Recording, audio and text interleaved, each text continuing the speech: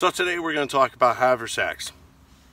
It's a very popular uh, piece of gear for, for tons and tons of bushcrafters, woodscrafters, camp crafters, um, wild camping guys. And when you first start to get in to any of the outdoor um, genres, you're going to get flooded with a ton of content on haversacks. There's hundreds of companies out there that make them. They're made out of all different kinds of materials different sizes, different shapes. Now, the biggest mistake that I think that a lot of people make is they do watch a lot of content on, on particularly haversacks.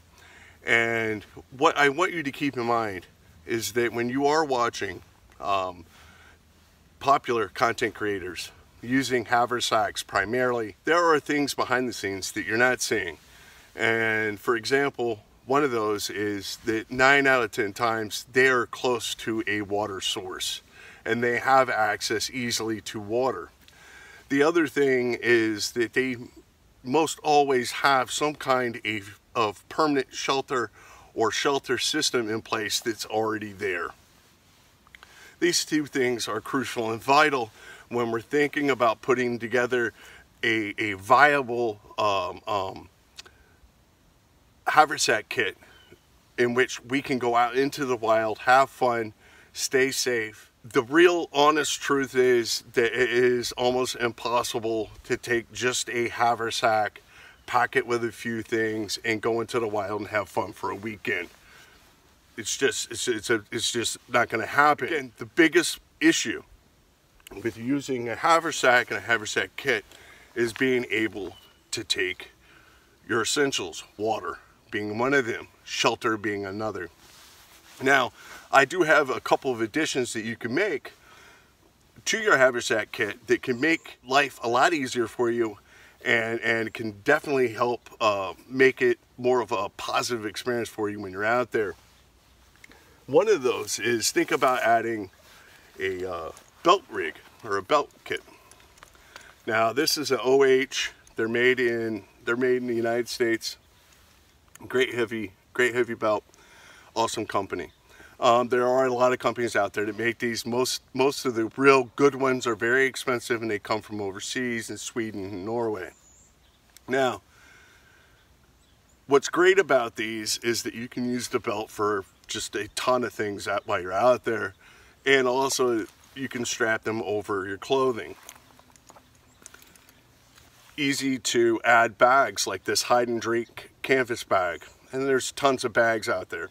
Now what these bags allow you to do, excuse me, is to pack things like fire kits, first aid kits, you know, uh, tools that you want to have easy access to, stuff that you don't have to throw in your haversack is always good. And it's comfortable to wear these on a, on, in a, a hiking situation. It's very comfortable to wear a belt with a, with a belt bag and and um, you know some slings like this or sleeves like this carry your hatchet and your knives. The other thing that I want you to think about is incorporating a canvas axe sling like this. This one's and I have my saw and my camp axe in here. Now the reason why these are so good is that it's the perfect shape to use to wrap a bedroll around. Now I've done it many, many times. It's comfortable, it's convenient, it's easy. Again, it's gonna take stuff out of your haversack, put it somewhere else, and give you more room in your actual haversack. But ideally, if you're looking at getting into haversacking and you're looking at taking a extreme minimalist approach to the outdoors, keep in mind food water and shelter and keep in mind how limited you really are space-wise with just a basic haversack. I do highly recommend picking up a small lightweight day pack like this one.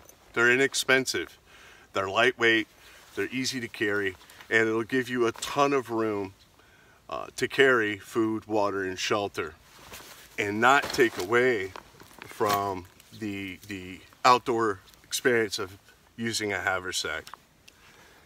Now, always stay safe and always plan ahead and think ahead. bushcraft is not a survival game. A lot of people want to say that it's a survival game. They come at it with a survival aspect, but that's not bushcraft. Bushcraft is an intentional or woodscraft or even wild camping.